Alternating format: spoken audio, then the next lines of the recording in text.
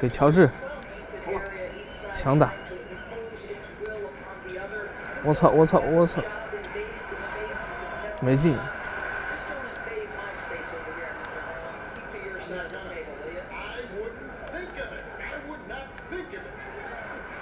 我操！我操！进了！可以可以可以。乔治还可以吗？没想到。老板差不多了，可以开始节目了吧？可以，等一下，退一下。好，嗯，回到这个 PS 的这个背景，大家能看到这个背景吗？其实是一个乔治特别版的主题，大家能看到呢，这是乔治小时候的一个相片，然后是很梦幻的这个星空，这星空跟这双鞋鞋内的这个鞋垫的颜色是一样的，然后有时候还会有篮球场，篮球场的中间还会有一个保罗乔治的标志，非常好看。这就是为什么我要说这双鞋，而且还要为它买一个 PS 四，然后再把这个这一行激活码输入进去换这个主题的意义，完全就是为了实现这双鞋所有的这个功能。这个鞋其实并不是一双普通的篮球鞋，它带了很多的联名的主题，还有一些元素在里面。这次它是跟 PS 四联名的，这好像是我第一次听说过有一双篮球签名鞋，正是在首发配色中还会与 PS 去联名做一款。这样的球鞋，你看它的鞋的这个鞋舌，大家应该在前面的宣传片啊，很多广告中都能看到了。其实只要你按一下它鞋舌后面这个像 button 一样的按钮，按下去它就能够开灯。那再按一下呢，它是调成了这个呼吸模式，会一闪一闪亮晶晶，对吧？然后发光。再按一下就没有了。这个东西其实没有特别多的实用性，我完全就是一个纯酷炫的。就有一次有实用的是，我有一次在回家的时候坐出租车，坐在后排，我的钱掉了，然后我把这个东西摁开，然后能实现在出租车里找钱的效果。你要走楼梯，然后楼梯里面你叫一声又没有灯的话，把这个打开，你能够看到脚下的路，也非常清楚。这是它的实用的两个方面，这是我目前探索出来的，其他的其实也没有什么了。那这是我人生中啊，你没有手机吗？手机太麻烦了，是吧？你还要划开屏幕，再点一下那个，这个你直接按一下斜手，弯下腰来，对吧？你还要掏出手机，多一个步骤嘛。在互联网时代，用户体验是非常重要的，多一个步骤，你就是少了一条生路。所以这这双鞋，我觉得这块还可以。但是它的，但它电池是有有寿命的。听我一个朋友说，是大概一百五十个小时，还是一百多个小时的寿命，就是你用完了，这个电就没有了。但是没关系啊，我有陆阿姨啊。我在南翔认识陆阿姨，如果我把这个电用完了，我直接把这个东西搅开，然后让陆阿姨给我打开看里面哪里可以换电池，换个电池，再让陆阿姨帮我把它绞上就可以了。其实很简单，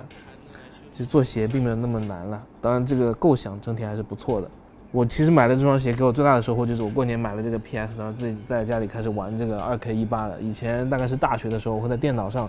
打，是那个 EA 出的 NBA，现在就开始玩，正式进入了这个主机游戏时代。为什么呢？因为保罗乔治本身也是个。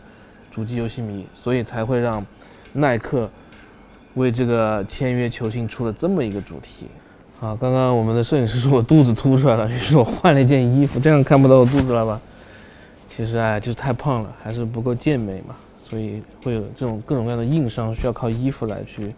遮掩一下。我们本来我觉得这双鞋其实没什么好说的，因为这双鞋在我看来就是一个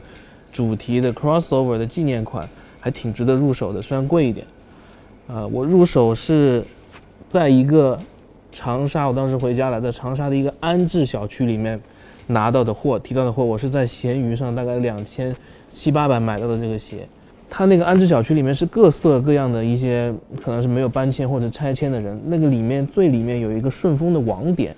里面有很多顺丰的小的那种车，呃，那种三轮车或者电动车在外面等着，然后里面有个很大的仓库。所以我去拿这双鞋的时候，我是直接在顺丰的顺丰的仓库里面拿的这个鞋。然后那个，我估计他们是用软件秒鞋的鞋贩子，就是住在这个楼上的，因为我看到他的地址就是在楼上，所以他们是很聪明的，把那个鞋直接就寄到了楼下，他们连发发货都不用发，直接到楼下再让顺丰改地址寄给别人，或者让别人到顺丰来提货，所以他们就连仓库都不需要有，仓储都不需要有，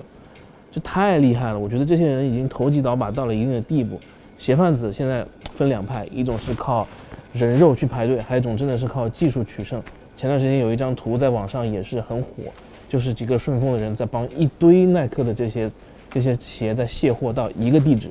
它本来就有这个纪念意义在，所以导致这个贩子会大批量去囤货，所以基本上一般的人用一般的价格是没办法入手这双鞋的。然后我在呃公众号上也有很多人发这个微信给我，比如说天津的某个耐克店也是用这种贩子围鞋的方式去围着这双鞋，所以这双鞋的发售，包括我自己去买，都是通过加价的方式买到的，还是挺可悲的。但是也很有意思，给了我一些启发。这这 还有这样做贩子的，真的太厉害了。还有一个细节，就是在那个贩子给我的那个那个鞋盒上看到它是其实是官网发的货，然后上面写了一个特殊的大客户专用的发货的一个一个标签。我也拍了一个照下来，我也不知道这什么意思，第一次看见，所以我觉得这个鞋发售中间可能还是有一点点小的内部的东西在，然后导致这个鞋发售也不会那么的顺畅。然后我这双鞋和很多鞋不一样，很多鞋是两个鞋舌，一个鞋舌是 PS 四的 logo，PS 的 logo，一个是保保罗乔治的 logo。我这双鞋两个都是保罗乔治的 logo，我也不知道我这是错版还是什么，就是肯定不是这双假鞋啊。我是一个官网的原原封打开的，然后就是这样子的。我我在想，可能是不是官网秒到的一部分是这样子，还是怎么样？但我其实看一些官网秒到的人放出来的图，也是一只脚 PS，一只脚。保罗·乔治的 logo，所以我觉得很奇怪，不知道为什么会这样子。这双鞋其实我就不再去做很详细的拆解了，因为这双鞋不太符合我一般平鞋的一个标准，就是它只有一半的气垫，并且它的后掌是比较硬的。所以这双鞋我就首先是我自己不想给它打分了，就是打分也没有太多意义，因为我是绝对不会穿这种鞋长期去实战的。然后上一代 PG One 就有用户在。微博上私信跟我说，他说穿那 PG One 脚后跟疼，其实就是因为 PG One 也没有那个后跟的缓震，PG 二也没有，他连像欧文那样改进一个 Phylon 改进成 Cushion 都没有做，所以它的后跟是相当硬的。我穿这个鞋打球，大概打一下我的话会感受到膝盖酸痛，所以这双鞋的缓震基本上就只能给五分吧，真的很低很低。所以我这双鞋也不想再打分了。说说它的优点，这双鞋不是完全一无是处。就它的前掌的 walk down 很好，大家还记得第一代那个是个绑带，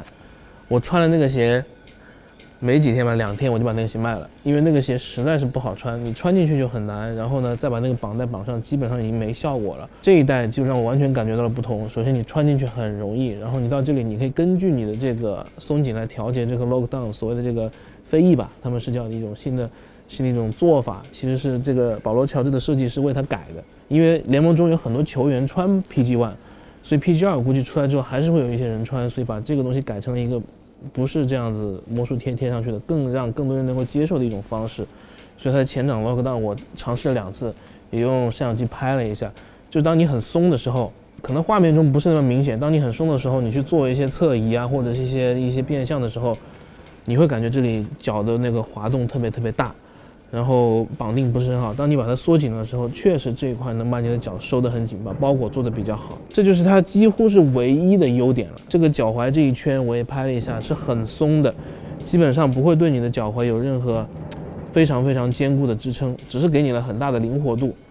呃，然后这个鞋，所以后段的包裹和支撑都是比较差的，在我看来，呃，就是前段非常优秀，中段尚可。中段因为它这里有一个单独的拉带。可以把你这个脚面这一块给拉得更紧，所以我觉得这一双鞋是一双，在我看来很像跑鞋的一双鞋。就是大家还记得之前我们评测过的牛顿跑鞋嘛？它前掌这就凸起来的地方，然后你跑的时候感觉你前掌的动力非常大。前掌的四个红色勾边条形竖起，牛顿专利称之为 lug，中文意思是凸起物的专利，减小了脚掌接触地面的面积，增大了脚落地时给地面的压强。这个作用力又通过前掌四个凸起内的气垫，把向上的反作用力回弹给了脚掌。这个鞋也有同样的感觉，就是它这个苏姆垫不是给你来缓震的，它是想让你的脚能够更加有启动往前跑的欲望，让你去变向啊，让你去做切入的时候更积极的。哎，还是觉得这双鞋不够好，就是单纯从性能上说不够好。然后你看它的抗扭，它中间其实只有一块很小的那个抗扭片，如果硬要这样掰，是能把它直接这样掰弯的。然后我如果这样侧扭的话，也是很容易扭的。然后就是，其实这双鞋从性能上来说，真的乏善可陈。所以我不知道，肯定保罗乔治跟我们穿的鞋不一样。我估计它后掌都是有气垫的，甚至它中间是有碳板的，都都说不定。所以我觉得我们就不要穿这个鞋去打球了。但是单纯从一个纪念版的鞋来说，我觉得它是非常好的。你比如说它这个，这里是跟这个 PS 的手柄一样的这种设计啊，然后它的颜色，你看它的蓝色、粉色、绿色、红色都是跟它这个按键一模一样的这个配色，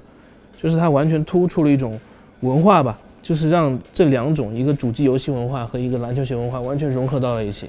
这次在 YouTube 上他们做宣传的时候，也是请了很多像。呃，科技类的博主来开箱这一套鞋，加上它的手柄和书包套装，Special Edition 的那个那个套装，实际上我觉得这一次的整个的这个文化方面呈现的还是很好。你包括它这个鞋后跟这里这种像呃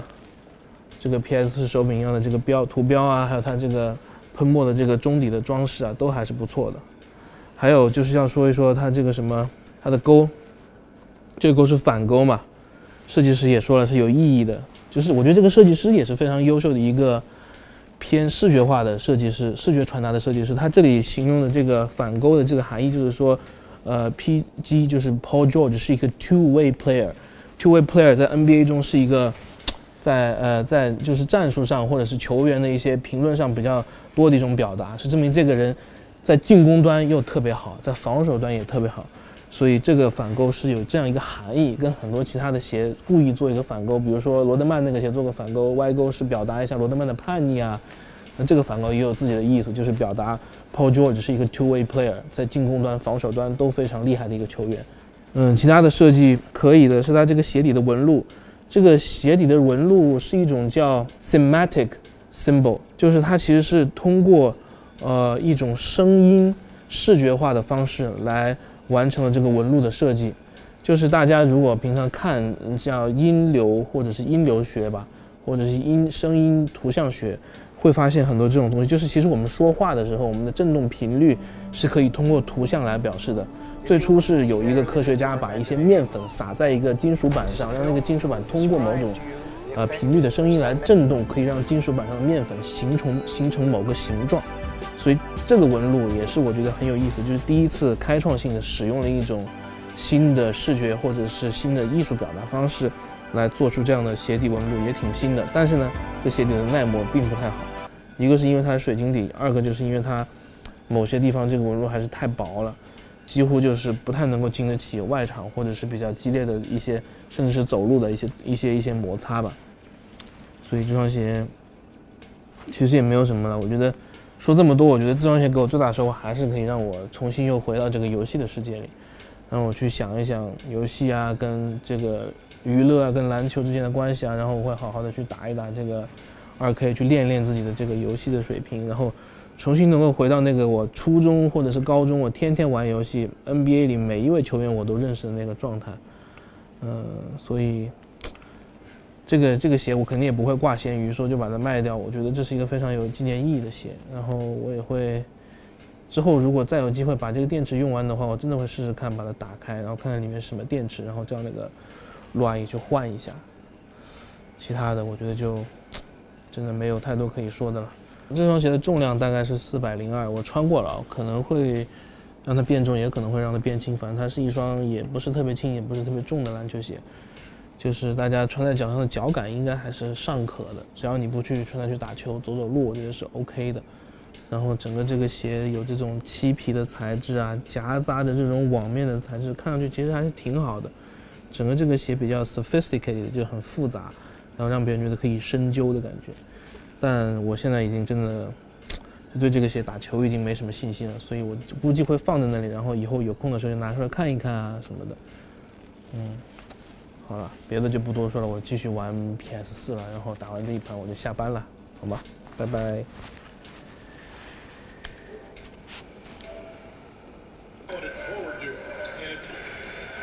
你可以拍拍这个游戏里，他也穿这个鞋，我觉得。